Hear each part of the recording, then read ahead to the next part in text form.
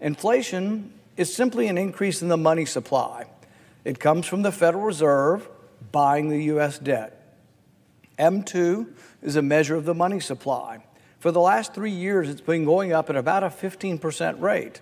So we shouldn't really be surprised that there's inflation because inflation is an increase in the money supply. In January of last year, the annualized rate of the M2 expansion, the monetary expansion, was 27%.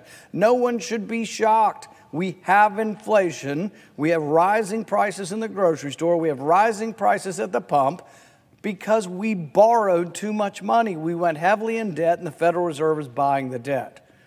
All of this so called free money floods the market and chases prices higher.